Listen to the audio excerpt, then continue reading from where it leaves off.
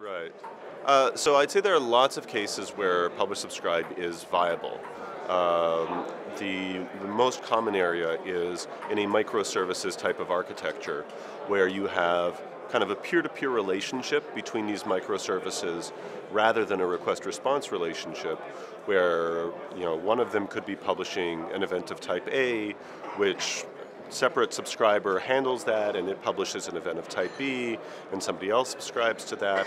And it could very well be that these types of events propagate and ultimately come back over time to the original publisher. So um, anytime that you have a case where uh, you have uh, strong business responsibilities that are able to be autonomous, that's a really good place where PubSub will work well. There are a lot of queuing systems out there that support publish subscribe natively. Uh, some of them are more uh, focused on one platform than another. So uh, RabbitMQ, for example, is an up and coming, very popular open source type of queuing system that supports publish subscribe.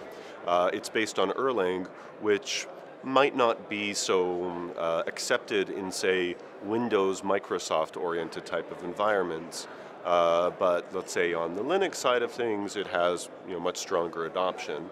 When we look at uh, publish subscribe frameworks that are popular on the Microsoft platform, uh, I'd say that while MSMQ as a queuing system doesn't support publish subscribe out of the box, there are frameworks like NServiceBus, like MassTransit, like Rebus, that sit on top of MSMQ and make it possible to do PubSub on the Microsoft platform just as well as, say, doing Java, Linux on top of RabbitMQ.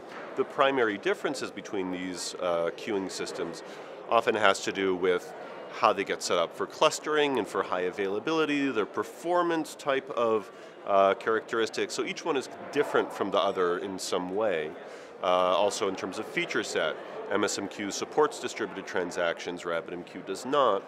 So there are a lot out there, and one of the things that I mentioned in my talk is things that developers need to be aware of when selecting a given queuing system to support their publish subscribe. The thing is, like uh, in so many technology type of environments, uh, context is king. So let's say somebody wants to build a chat type system in a chat-based environment, the ability to support a very large number of connected users with low latency is really important. Whereas the durability, the transactionality isn't really so important in that domain. However, and in that type of context, a queuing system like ZeroMQ would be fantastic. MSMQ takes a different set of contexts and says, well, we're going to make everything transactional and durable and reliable and fault tolerant, which doesn't really make sense for the chat domain, but it makes a lot of sense for business systems.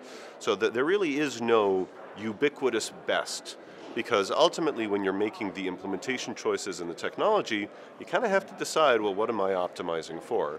And if you try to do everything, that just means you're going to do everything really poorly. So you're going to be the worst durable solution and the worst non-durable solution. So I'm not, you know, I, I have enough experience to know that there is no ever going to be a best for everything. And it really is, so um, let me put it this way in terms of the, the service bus technology that I built and that my company now supports, we support multiple underlying queuing technologies. So we support both MSMQ and RabbitMQ and a bunch of others so that whoever is using the software can decide, well, I'm going to program to our API, but now give me a plugin that is suitable for the transactional performance type of needs that I have, and that can be different in different cases. But at least the API type of experience is going to be roughly the same. So that's what we ended up doing, but we're not going to write our own queuing system.